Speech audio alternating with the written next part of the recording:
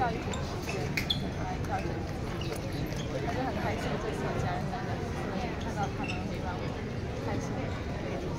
啊，但是我觉得我需要调整好自己，就是有花钱这些，然后把这个经验带给我东西，就就是要。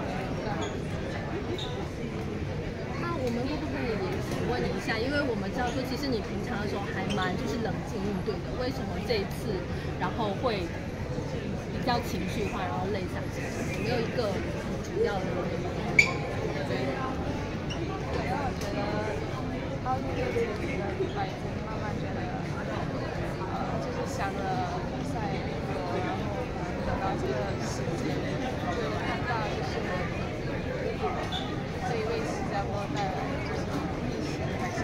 Thank you.